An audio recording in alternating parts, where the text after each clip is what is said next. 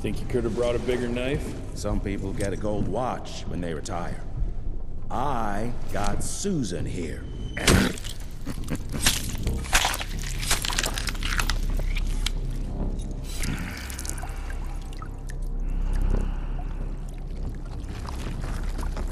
Should have asked him how to get out of here. Too late. He won't be of any use for a month or two. Wait. What about Chester? Well, what are you gonna do?